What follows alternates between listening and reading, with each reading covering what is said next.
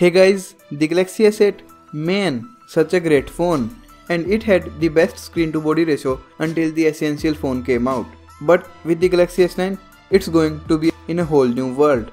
A new report says that the Galaxy S9 will have a freaking 89 to 90% screen to body ratio. This really is an achievement for Samsung. The Galaxy S9 will completely eliminate the bottom bezel and the top bezel will shrink a little bit but the top bezel won't be crazy small. Evan Blass tweeted a lot about the Galaxy S9. First of all, he told us the model numbers of S9 and S9 Plus. Second is that Galaxy S9 will be a tock device, which means that not a crazy design change but some new refinements over the current Galaxy S8. It would be more of like Galaxy S7's upgrades over the Galaxy S6. This time, the Galaxy S9 and S9 Plus will have more differences than just the bigger display and bigger battery. They want to make the Plus model more compelling to spend your money on.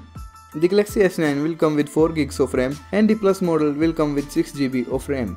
But the internal storage will remain the same 64 GB. Another difference will be the camera. The regular S9 will feature single camera and the Plus model will come with dual cameras. And talking of cameras, the Galaxy S9 will have very improved cameras. And the feature I'm most excited about is the 1000 frames per second super slow motion video recording. This will be a revolutionary feature and I know they are not the first one to do it. Sony already does it with the Xperia XZ Premium, but come on man, who buys a Sony device?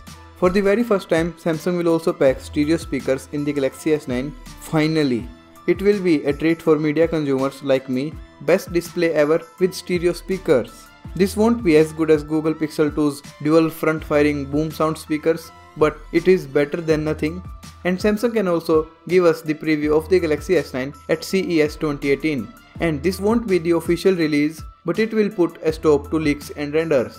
And the release will follow up in late February or early March. So guys, this is it for this video. Let me know your thoughts about the Galaxy S9's super slow motion video recording and stereo speakers. I'm more excited about the video recording. I will cover everything about the Galaxy S9, so make sure to subscribe. I'll see you guys in the next one. Peace out.